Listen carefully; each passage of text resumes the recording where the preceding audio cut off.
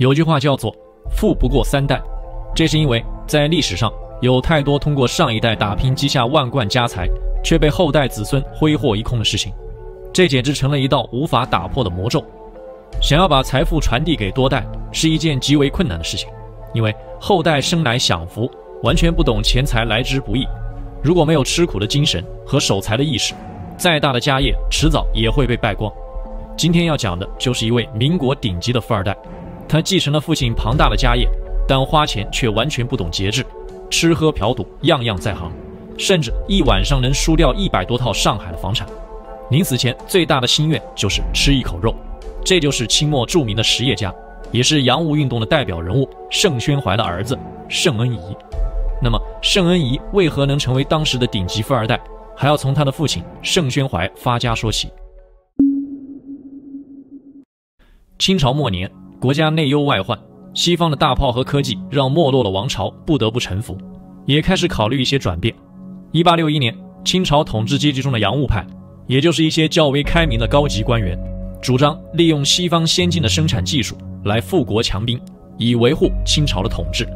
他们提出。中学为体，西学为用，也就是在保障清朝封建政权的前提下，学习西方先进技术。洋务派在中央是以恭亲王奕欣和瓜尔佳文祥为代表的满族官员，在地方则是以曾国藩、李鸿章、左宗棠和张之洞为代表的汉族实务派官员。而洋务运动之所以能够实行，也是得到了当时清朝的最高统治者慈禧太后的应允。慈禧本身是典型的守旧派人物。按理来说，这种激进的政策是很难执行的。但是她经历了两次鸦片战争，在西方的炮口之下，早已失去昔日天下独尊的地位，已经完全认识到了西方军事科技的可怕，所以也希望洋务运动能够使中华自强。根本原因还在于保障他的权利和奢侈的帝王生活。中央制定政策，而具体实施的则是地方官员。在这其中，汉族实务派官员开始拥有了非常大的权力。他们可以开办矿场、军工厂、造船厂，拥有特许商品经营权以及和西方企业合作的权利。这其中的每一个环节都能产生巨大的财富。所以，洋务运动除了搞活清朝的经济，还造就了一大批实业家和商人。除了晚清四大重臣曾、李、左、张，还有一个重要人物就是盛宣怀。他是秀才出身，最早是出任盐法道，也就是清朝管理盐场的一个官员。而盐自古以来就是一种国家垄断的特种商品，而盐的税收占到了清朝税收的百分之十到百分之十五。盛宣怀等于是一开始就在国企的重要部门任职，起点就很高。当时的洋务运动已经开始，在这种国家大政策的背景下，谁能和洋务沾上关系，谁就能一飞冲天。盛宣怀凭借在盐场的出色表现，得到了李鸿章的赏识，成为了李最重要的幕僚，协助李鸿章办洋务。第二年就升到了知府的官级。一八七五年，李鸿章委派盛宣怀到湖北办煤铁矿业务，也就是在湖北开展挖煤、炼铁和修建铁路的业务。盛宣怀雇佣英国挖矿专家在湖北开办了湖北煤铁总局。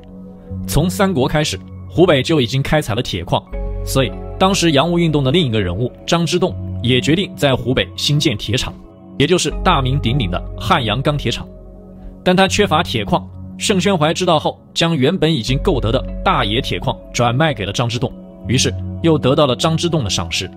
之后，盛宣怀又到天津办兵工厂，到招商局任职，在烟台经营海运，还开办了众多学堂，涉及到了洋务运动的各个核心业务，可谓平步青云。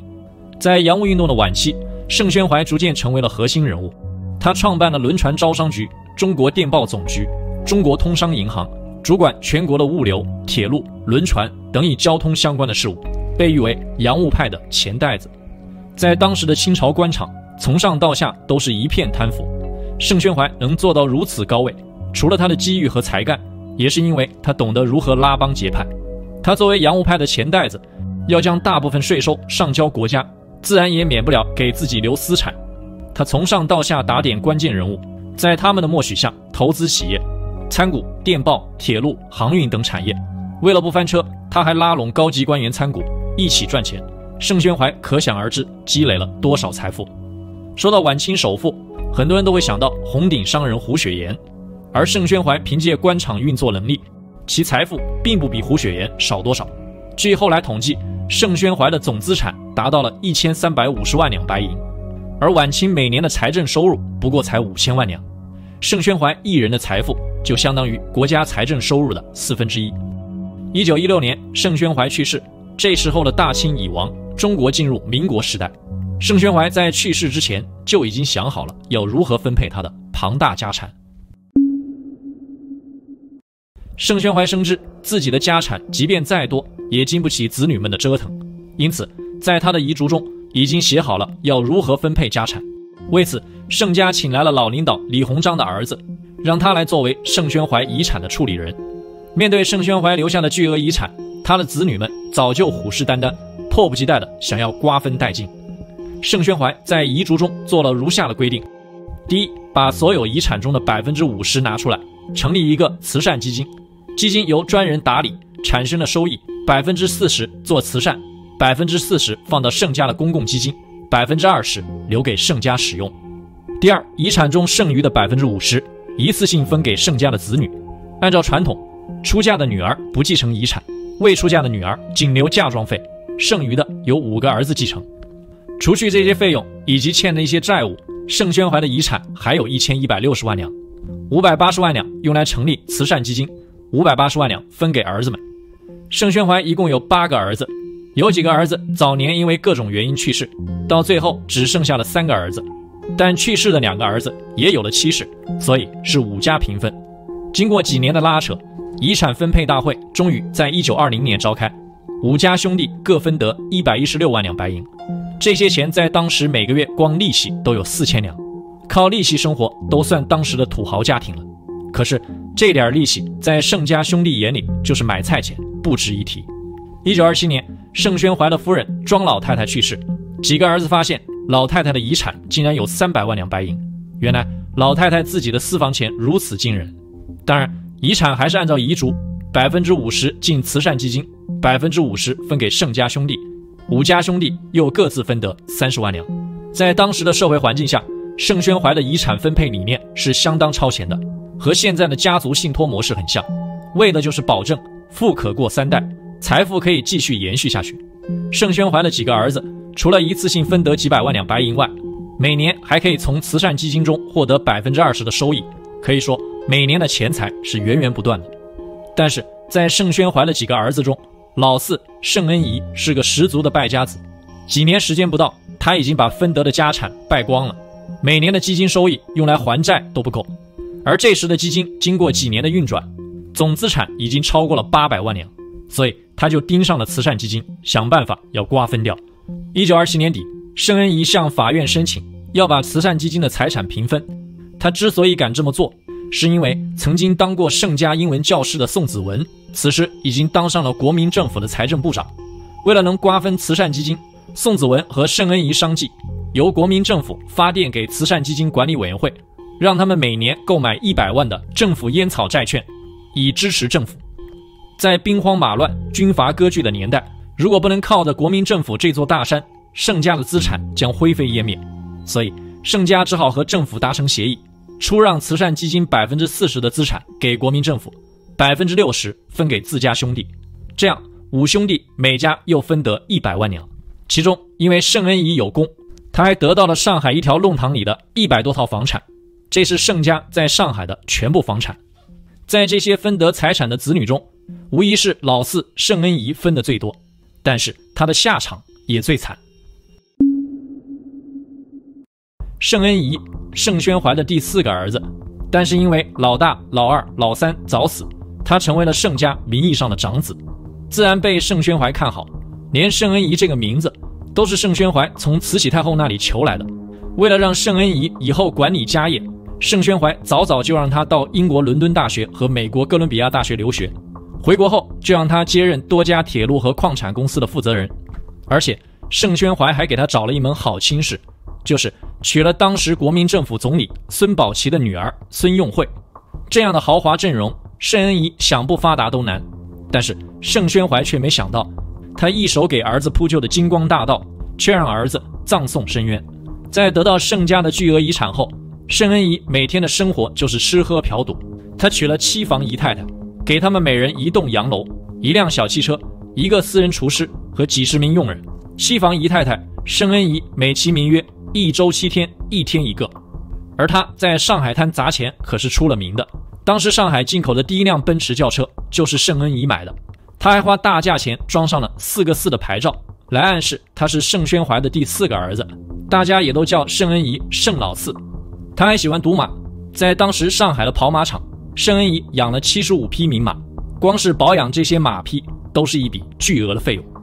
虽然身为几家公司的总经理，盛宣怀在世的时候，盛恩仪还做做样子。等父亲一走，索性再也不管公司的事情了。申恩仪最喜欢干的事情就是赌，只要染上赌的恶习，万贯家财也会输光。他经常和杜月笙一起赌博，一晚上输赢过万是家常便饭。大家都知道他有钱，就合在一起抬轿子坑他。但申恩仪仗着自己家底厚，根本不在乎。申恩仪最可怕的就是喜欢和人豪赌。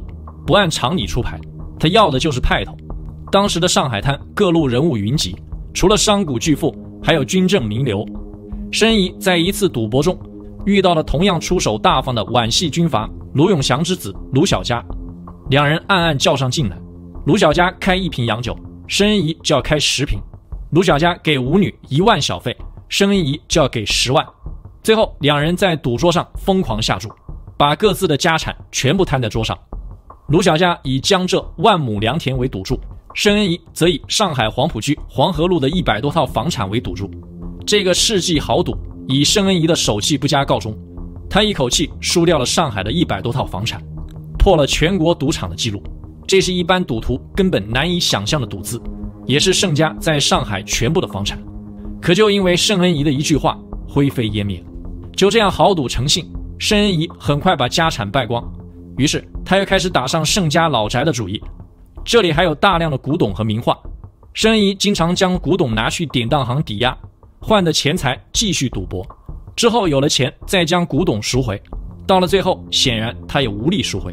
就这样，几年时间，盛家的古董全部被败光，价值几百万两。申恩仪还向几个兄弟借过钱，自然是没有还过。最后，他只剩下了盛家在苏州的园林留园。苏州留园是中国四大名园之一，和北京的颐和园、承德避暑山庄齐名，可见其价值。留园本是明代的私家园林，后经过多次扩建，成为中国首屈一指的园林，后被盛家购得。而盛宣怀在遗嘱中也说了，苏州园林是留给盛恩仪的。但由于当时的国民政府以盛宣怀贪污腐败、侵吞国有资产为名，将留园收归国有，里面也成为了军队的办事处。盛恩仪自然也无法打刘元的主意，他的几房太太这时也离他而去，到最后他连住的地方都没有了，才向政府申请想住在留园里的盛家祠堂。最后盛恩仪得到允许，住进祠堂里的一间配房，他只能靠盛家的几个兄弟接济过活，晚年过着食不果腹的生活。到了1958年，苏州留园已经成了旅游景点，有游客在留园门房看到一名衣衫不整的人。躺在地上对游客说：“想吃口肉。”还没等人回应，这个人就断气了。这就是盛恩仪最后的心愿。据人估算，盛恩仪一生败光的家产，放到现在合人民币一百四十多亿，可见盛宣怀当年创下的家业之盛，也足见盛恩仪败家速度之惊人。盛恩仪一生风流成性，仅记录在册的子女就有二十多个。他的大儿子盛于游没有分得他的一分财产。但是盛宣怀的三儿子五子，盛于游小时候就过继给了老三家，自然留给了盛于游。因此，在一九二零年的时候，九岁的盛于游就有了一百一十六万两白银。所以，盛恩仪在没钱后，厚着脸皮找儿子借了几次钱，每次都是只借不还。最后，自然儿子也是不借了。盛于游最后去了日本，在那里经营产业，创办的企业名字就叫做留园。这就是盛恩仪奢侈挥霍的一生。也是大家称他为民国第一败家子的原因。其实，纵观盛恩仪的一生，他的悲剧就在于他的起点太高，但要缺乏正向的教育引导，才让放纵的欲望凌驾了他的一生。好，这个本期视频的全部内容，感谢关注小杨哥来了，我们下期再见，peace。